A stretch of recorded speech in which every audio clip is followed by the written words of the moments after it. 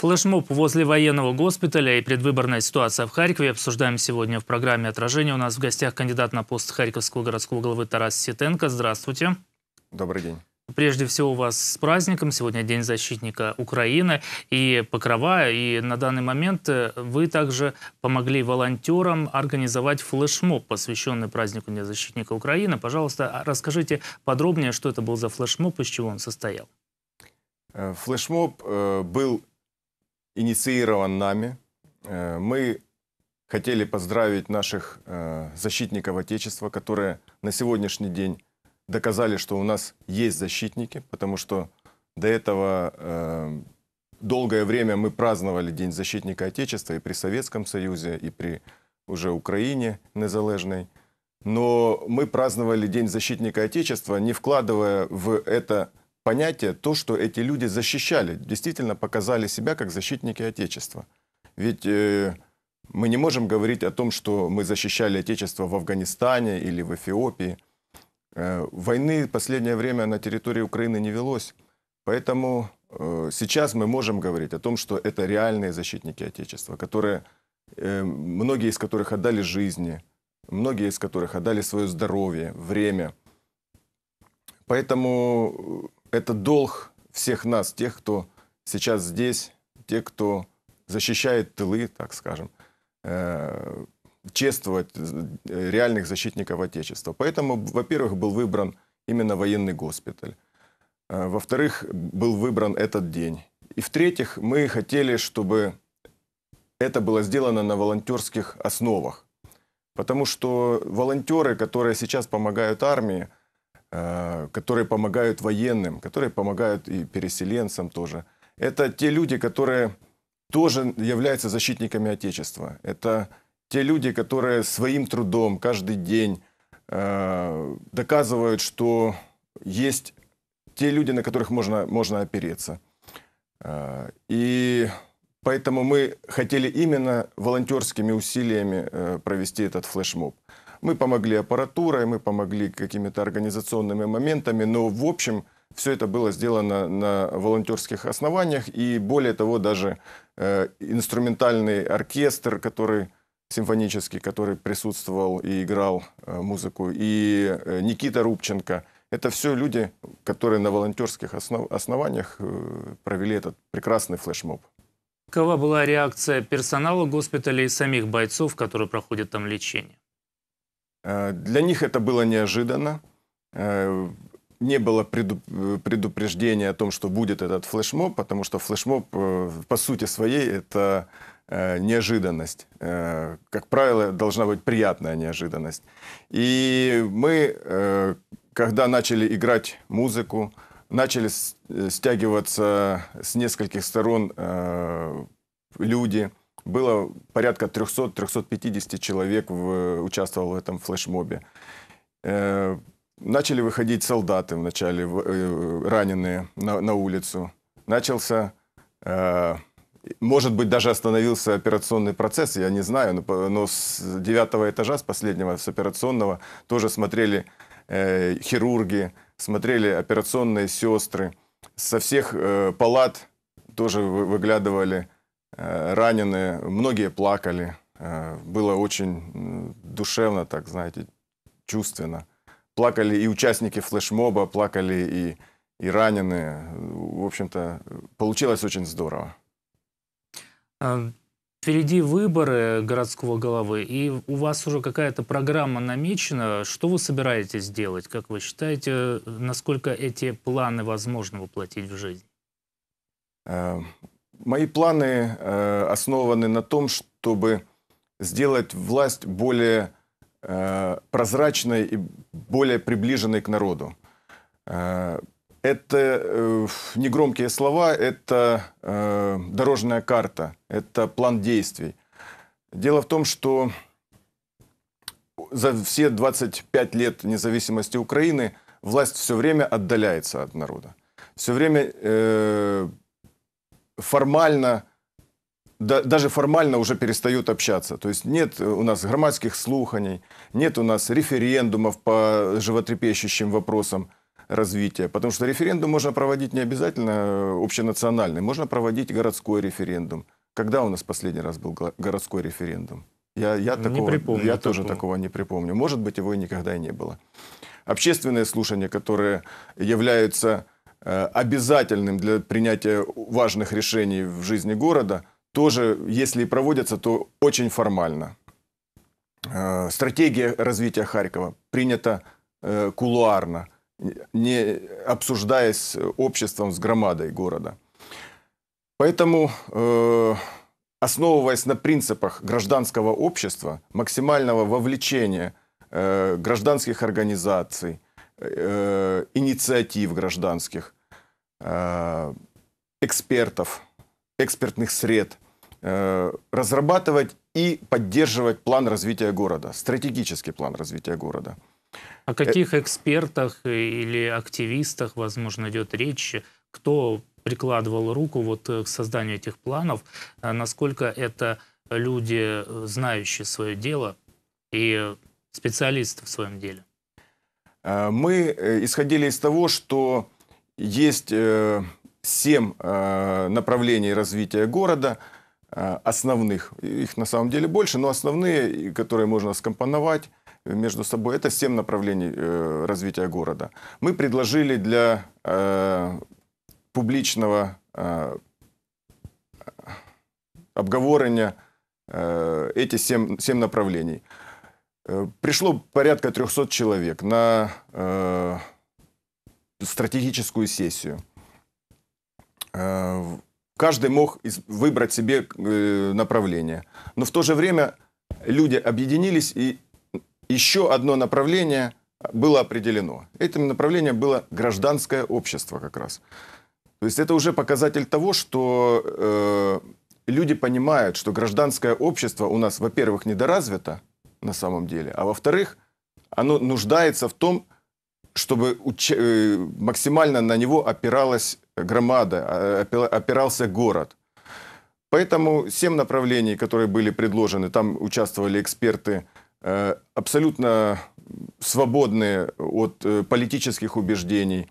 Э, Это не обязательно наши э, поклонники, это не поклонники самопомощи, это люди, которые знали о том, что будет э, такое обсуждение, и это обсуждение было абсолютно открытым, анонсировалось э, за, два, за две недели до того, как состоялась стратегическая сессия. Поэтому эксперты были высочайшего уровня, на мой взгляд, э, чтобы их э, как бы не рекламировать э, самопомощь через громкие имена, я не буду, наверное, их называть, э, будет некорректно. Э, Но те идеи, те мысли, те смыслы, которые э, были произнесены и легли в основу нашей программы, они были просто потрясающе красивыми. Ну вот, кстати, буквально сегодня сообщает Радио Свобода об, о данных опроса, проведенного Международной фундацией избирательных систем в Украине в конце сентября этого года по заказу агентства США USAID. И Данные таковы. Большинство украинцев, 74%, недовольны действиями власти в вопросе ограничения влияния олигархов, а 67% граждан Украины считают, что украинская власть не прилагает усилий в борьбе с коррупцией. Э, Вот это основные вот такие проблемы. Плюс 8% респондентов считают удачными реформы в юридической и правоохранительной сферах, а 40% участников опроса признали, признались в даче взяток в течение последних 12 месяцев. Вот такие интересные данные опроса. Однако выходить на третий Майдан люди не планируют. То есть какой-то вариант это именно как раз создание вот этого гражданского общества. Ну, оно, наверное, уже все-таки есть, но нужно его расширять и делать более активным. Поддерживать и на него опираться. То есть все реформы должны опираться прежде всего на гражданское общество. Потому что без поддержки, без общественного консенсуса мы реформы не проведем. Э, Вот по поводу э, олигархов и борьбы с э, олигархами, я могу сказать, что очень важным моментом, который э, мы будем э, продвигать э, в работе как э, городского совета, как областного совета, так и на э, посту мэра, это вопрос демонополизации. Потому что э, олигархи создаются тогда, когда есть монополии. В конкурентной среде очень тяжело в, за короткий срок стать олигархом. Все-таки Украине не так много лет, чтобы э, на конкурентной, э, в конкурентной борьбе у нас родились олигархи. Если мы возьмем весь список наших э, так называемых олигархов, то там только те люди, которые э, имеют монополии, имеют монопольное положение в металлургии, в химии, в сельском хозяйстве, в тех базовых э, отраслях экономики, на которых опирается сейчас и ВВП Украины, и экспорт Украины. А вы фиксировали уже случаи применения админ, админресурсов в Харькове и конкретно, может быть, в чем они проявлялись? Безусловно, э, у нас нет условий для того, чтобы не применять э, админресурс. Э, все позволено. И позволено потому, что не было ни одного случая доведения уголовного дела до логического конца. Ни одно уголовное дело не было передано в суд. Нет человека, который бы получил срок какой-нибудь условный, неусловный, неважно какой. Нет э, приговоров по нарушению э, избирательного процесса. А как вы понимаете, избирательный процесс – это, э, можно сказать, единственный, единственная на сегодняшний момент форма воздействия общества на власть.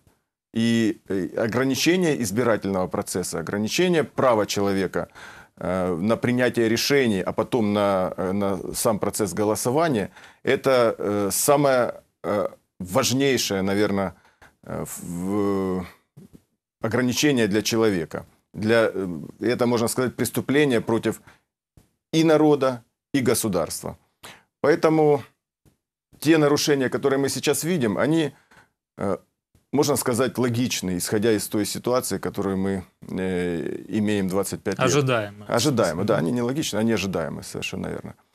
Это использование общественного транспорта, это использование остановок общественного транспорта, стеклянных выходов из метро, это использование э, жилых зданий.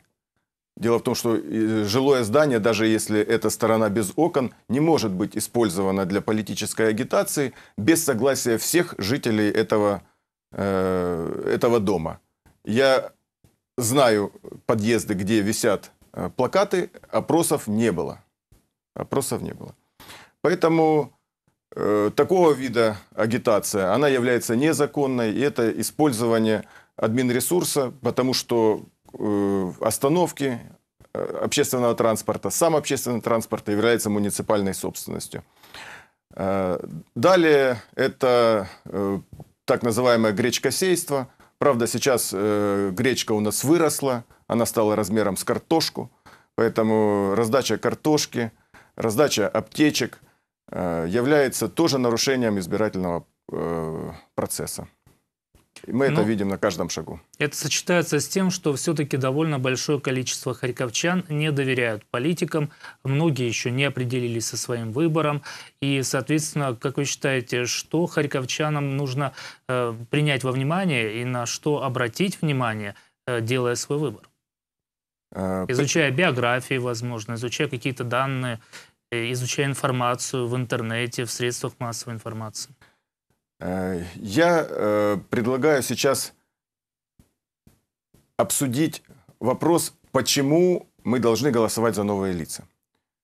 Дело в том, что когда меня спрашивают, есть ли гарантия, что новые лица изменят страну, изменят город, я могу сказать, что консервация старой системы – это гарантия того, что ничего не поменяется. Вот это можно гарантировать, что если мы изберем те же лица, которые на протяжении 20 лет самовоспроизводятся, э, наследуют э, должности, это гарантия того, что мы останемся в том же состоянии. А это состояние пике. Это состояние, которое ведет к катастрофе. Поэтому, э, если мы говорим о новых лицах, которые обязательно э, должны рассматривать, мы должны рассматривать как социальный лифт для них, это вопрос их дел. Что они сделали? Являются ли они экспертами? Являются ли э, они людьми, которые сделали какой-то результат в своей жизни? Или это просто трибуны, которые э, всю жизнь просто говорили. Таких тоже достаточно. Новых лиц много, но надо выбирать из тех, кто есть человеком дела, а кто есть просто демагог. Я предлагаю именно на это обратить внимание, что, что человек из себя представляет, является ли он успешным человеком, является ли он образованным человеком. Э, вот исходя из этих факторов и э, делать выбор. Есть ли уже какие-то проявления нечестных способов ведения избирательной кампании? Возможно, вы видите какие-то возможности срыва выборов или фальсификаций? Э, на сегодняшний день мы видим ситуацию с областной территориальной избирательной комиссией. Э, областная территориальная избирательная комиссия является независимым органом, который отвечает за проведение выборов в Харьковской области. И решение, которое Э, принимает территориальная комиссия, являются э, окончательными и возможными э, в обжаловании только в суде. Нет над ними начальника, нет над территориальной комиссией начальника, которым считает себя Центральная избирательная комиссия, которая пытается в, помешать нормальной организации процесса в области, был не зарегистрирован оппозиционный блок в Харьковской области. Оснований для того, чтобы его не зарегистрировать, было минимум три. По каждому из них можно э, говорить о том, что абсолютно справедливо э, блок не был зарегистрирован. И, кстати, обновленный состав облсберкома принял то же самое решение, не зарегистрировал. Дело в том, что любой человек, который читает закон, даже не являясь юристом, он понимает, что э, это абсолютно законно. Но Центральная избирательная комиссия, которая была избрана еще со времен Януковича, и по каким-то причинам э, президент Порошенко не хочет ее менять, имеет свой взгляд на закон, имеет свой политически заангажированный взгляд на этот закон. Вы призвали даже распустить Центральную избирательную комиссию. Не приведет ли это к еще большему хаосу? Вы знаете, э, если хаос вносится в неправильные дела, или может внестись в неправильные дела, то я считаю, что можно даже пойти и на такое. Вот когда говорят, например, о том, что если мы распустим суды, то кто будет нас судить, то я говорю, зачем нас судить все время неправильно и иметь возможность а, обновить суды, поставить туда новых людей, у которых есть шанс судить нас неправильно. Поэтому избирательный процесс имея такую разветвленную систему в виде территориальных избирательных комиссий, окружных избирательных комиссий, я думаю, что может быть э, абсолютно самоорганизован.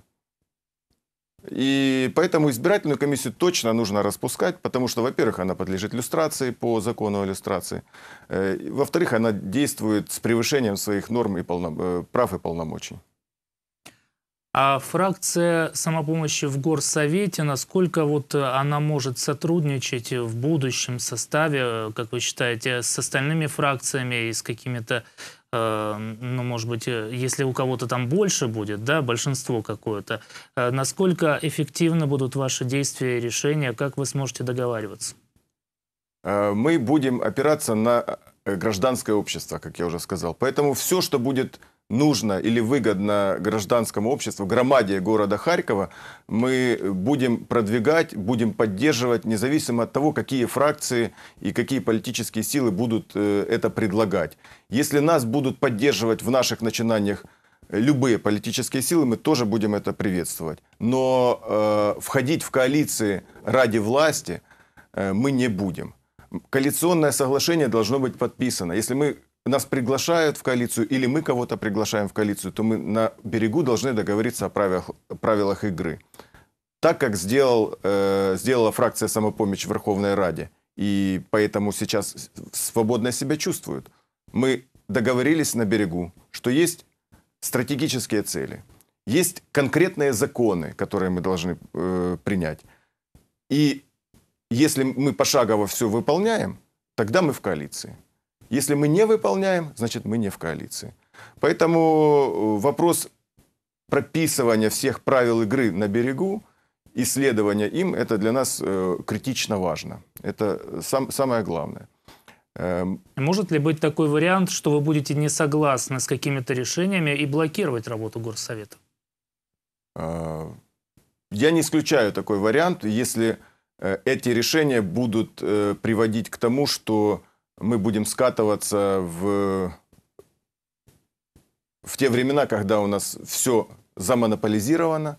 Если мы будем скатываться на уровень сепаратизма, если мы будем скатываться на уровень непризнания центральных органов власти. Поэтому вот в этом, в принципиальных моментах мы будем, э, будем действовать очень, э, может быть, даже агрессивно. Но это не значит, что по бытовым вопросам э, мы будем блокировать и признавать деятельность такого уважаемого органа, как Горсовет или облсовет, э, недействительной. Поэтому, конечно, до этого мы скатываться не будем.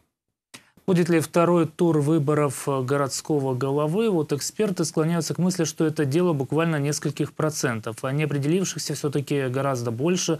Как вы считаете, насколько вероятен именно второй тур и каковы ваши шансы в нем? Я уверен, что это вопрос не нескольких процентов, это вопрос минимум 10 процентов. 10 процентов э, мы, э, я думаю, что за короткий срок 10% э, никто не сможет набрать, при, прибавить к своему рейтингу. Более того, у действующего головы есть большой антирейтинг, который, э, на который повлиять тоже тяжело. Поэтому второй тур неизбежен. Это мое глубокое убеждение. И во втором туре э, практически э, предопределен второй тур, как, как мне кажется. Дело в том, что э, все деп... Э, кандидаты в мэры, которые сейчас э, выдвинуты и участвуют в выборах, они э, действуют и в своей риторике э, говорят о том, что они действуют против нынешней городской власти. Никто не поддерживает нынешнюю городскую власть. Поэтому все голоса, которые будут отданы за всех кандидатов, это голоса против действующей городской власти которые никогда не перетекут э, действующему городскому голове. Ваша позиция относительно евроинтеграции и роли Харькова в этом процессе, насколько действительно Харьков может стать э, городом европейским, объединенной Европы? Э, у нас нет другого пути, кроме как идти в Европу и быть городом-мегаполисом, который конкурирует с другими мегаполисами мира. Если мы не хотим потерять город как э, мегаполис, который предоставляет все виды услуг, который развивается э, динамично, который комфортен для жизни, то мы должны конкурировать с лучшими мегаполисами Европы. Не только Украины, но и Европы. Поэтому э, присутствие Харькова в Европе, присутствие Харькова в, при Европарламенте, при Еврокомиссии, присутствие Харькова в Вашингтоне, э, хотя бы на уровне небольших представительств, один-два человека. Это обязательное условие для того, чтобы Харьков был интегрирован в европейскую жизнь. Э, мы должны знать, что происходит в Европе, а Европа должна знать, что есть такой город, как Харьков. Как сейчас, кстати, Харьков воспринимают в Европе, вы знаете? Э, Харьков воспринимают э, как второй город в Украине. Украина считается, безусловно, бедной страной в европейском масштабе. А Харьков, как второй город, не первый город, э, тоже обычная провинция э, Харьков считается. Хотя по размерам большой, полтора миллиона, очень удивляются люди, потому что не знают о том, что полтора миллиона, оказывается, такой город, и о нем, о нем не сильно известно. Но при присутствии Харькова в, в Еврокомиссии, при том, что мы можем создавать какие-то события, на которые мы можем приглашать Э, европейцев, мы можем приглашать американцев, будет продвигать Харьков э, в известности в мире. Но любое событие, чтобы организовать, это большая работа, это большая логистика. Э, мы, к нам могут не приехать, потому что у нас небезопасно в городе, и небезопасно не из-за близости войны, а просто небезопасно в городе потому что недостаточно хорошо работает милиция. И европейцам нужны также гарантии, наверное, прозрачности бизнеса и это многих других это, моментов. Да. Ну что ж, спасибо вам за участие в нашей программе. Я напомню, у нас в гостях был Тарас Ситенко, кандидат на пост Харьковского городского главы. Спасибо, до свидания. Спасибо, до свидания.